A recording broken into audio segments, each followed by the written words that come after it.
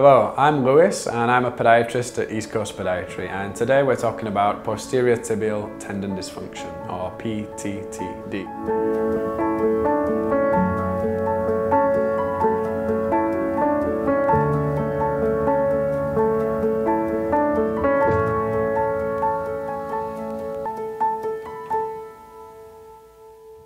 PTTD is a very common foot and ankle condition that affects adults and children and it's the number one cause of adult acquired flat foot.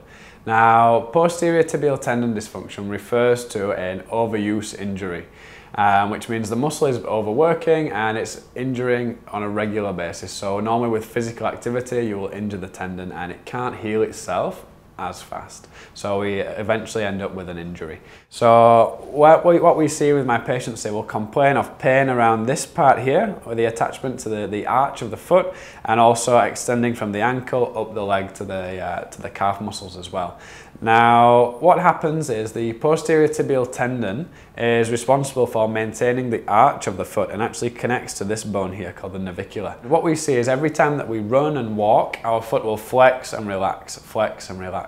As we increase our physical activity, of course, this flexing and relax motion increases, of course. So your symptoms will directly correspond with the physical activity. So most of my patients, all we want to know is number one, what's wrong? How bad is it? and can we fix the problem? And in most cases, posterior tibial tendon dysfunction can be addressed and fixed with conservative treatment.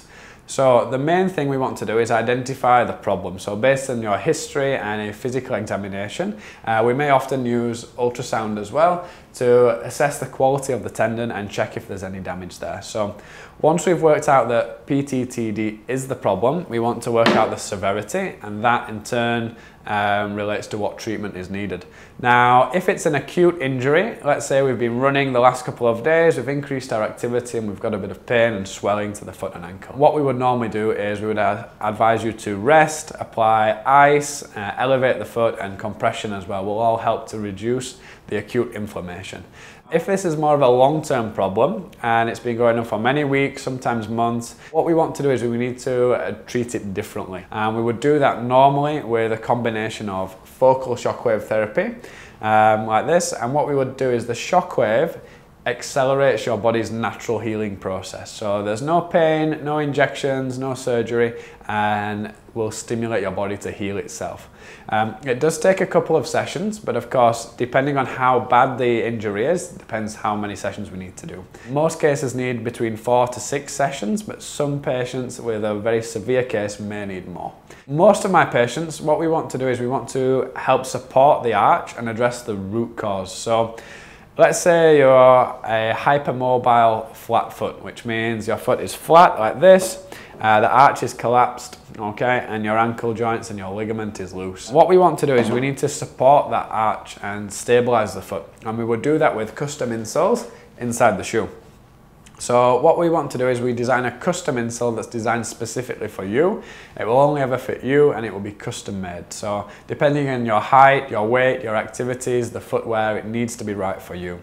If it's too soft, it will feel nice, but it won't do anything. If it's too hard, it won't be comfortable and you won't use it. So it needs to be custom made. Basically with posterior tibial tendon dysfunction, we address number one, the root cause and also treat the symptoms and the pain that you're experiencing.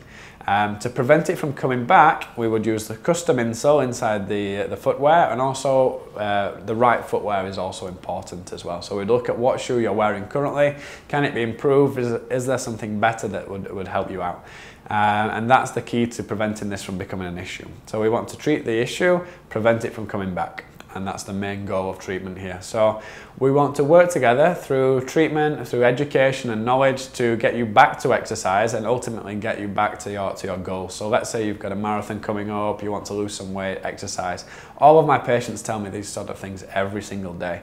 And regardless of, of what, what it means to you, if you're exercising, the marathon's coming up, we want to get you fixed and work together to get you to that goal. And we would do that by treating it once properly with the right treatment and that's enough to get rid of your symptoms and prevent it from bothering you. So if you feel that you have posterior tibial tendon dysfunction or you may be suffering from this foot and ankle pain that we've talked about today, you do need to seek the attention of your podiatrist for a thorough assessment, treat it right from day one and prevent it from becoming a much serious, uh, much more serious condition. If this video has been useful, please let me know in the comments below. And if you've got any questions at all about the treatment we've discussed today, the advice that we've given, please let me know and we'll address it in our upcoming videos. Thank you. For more information on related conditions, check out our other videos.